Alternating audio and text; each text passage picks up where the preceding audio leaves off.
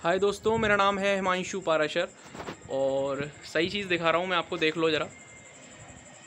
ये मून है लाइट नहीं है, समझ ही गए होगे दूर से, है ना? अब बढ़िया दिख रहा है। तो इसको ना स्ट्रॉबेरी मून कहा जाता है।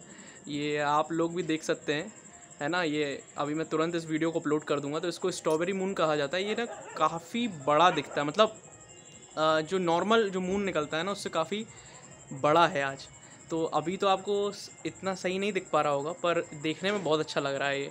तो मैं ये भी चाहूँगा कि आप सभी देखें, आज बट पूर्णिमा भी है तो इसको स्ट्रॉबेरी मून अमेरिका में कहा जाता है। मतलब उन्होंने नाम रखा हुआ है, स्ट्रॉबेरी मून, और ऐसा कहा भी जाता है कि ऐसा मतलब उनका मानना ऐसा है कि इस टाइम पर स्ट्रॉबेरी पूरी तरीके से तैयार हो जाती है और उसको इकट्ठे, इकट्ठा करने का काम शुरू हो जाता है। तो इसलिए इसको उन्होंने, अमेरिका ने स्ट्रॉबेरी मून का नाम दिया है।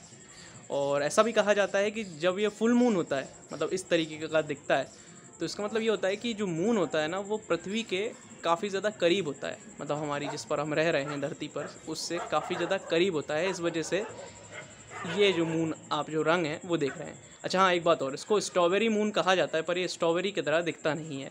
ठीक है? तो अच्छा लग रहा है देखने में। आप लोग भी देखिए, यदि आपको दिख पा रहा है तो जहाँ पर भी आप हैं। लाइट नहीं है भाई, लो, लाइट मत समझ लेना तुम तो यार। चलिए, मैं इन्जॉय करता हूँ और आप भी देखिए।